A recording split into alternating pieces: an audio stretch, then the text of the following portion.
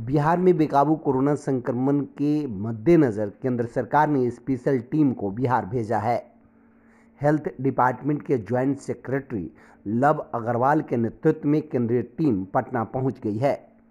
यह टीम पटना के containment zone के अलावे गया और बाकी अन्य जगहों का दौरा कर हालात को जानेगी।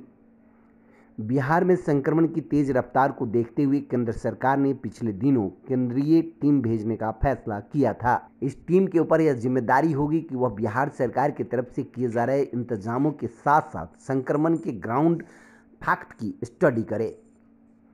केंद्रीय टीम बिहार के स्वास्थ्य विभाग के अधिकारियों के साथ समन्वय स्थापित कर संक्रमण रोकने के उपाय पर चर्चा करेगी।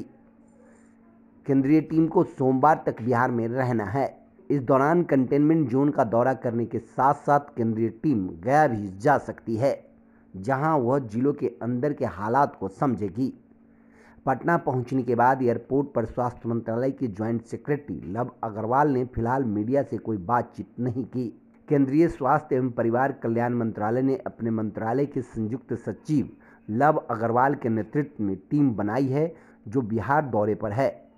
इस टीम में national centre for disease control के निदेशक डॉक्टर एस के सिंह और अखिल भारतीय आयुर्विज्ञान संस्थान एम्स के मेडिसिन विभाग में associate professor doctor Neeraj Nischal शामिल है।